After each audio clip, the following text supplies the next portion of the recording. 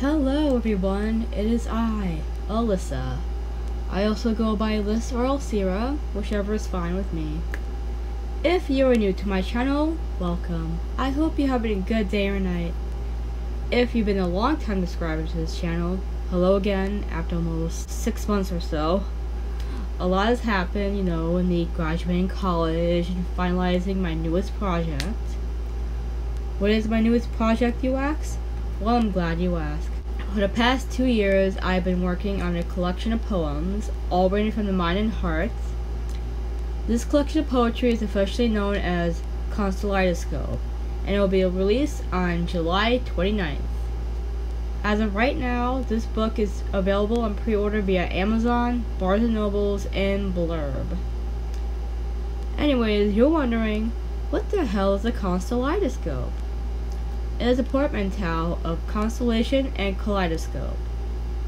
As I was starting this book in August of 2020, I had a couple of titles I was working with, some of them being broken songs, because the majority of my poems start off as songs, mostly as ballads or jazz pieces, or scattered stars, because I love galaxies and space and astrology and such and the earlier poems I've written about speak about stars and such. I was bouncing around these ideas until I came up with Constelleidoscope because it was more unique and less cliche than the former two.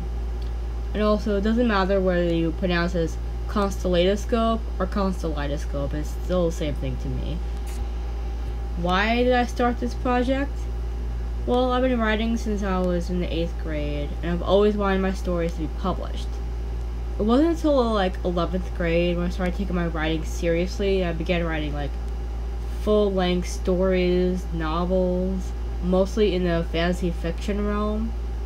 These stories are still unfinished to this date, but I'm still passionate about them. Poetry has been something I've been playing around with throughout high school and during my second and third years in college, I thought to myself, I should write a book about these. And that's when Constelleidoscope came to be.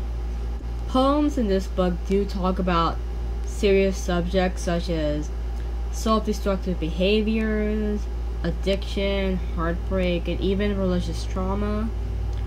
There also are some poems that are a bit like lighthearted and a little funny even, such as Birds, that was the deepest cut in terms of content. Starting on July 29th, hopefully, I will have readings on each of my poems, including an illustration that I feel best represents the piece. This book is available on sale via Amazon, Barnes & Nobles, and Blurb. This book is self-published and is my first publication ever. So don't miss out. I hope you enjoy, stay hydrated, and have a wonderful day or night. Bye!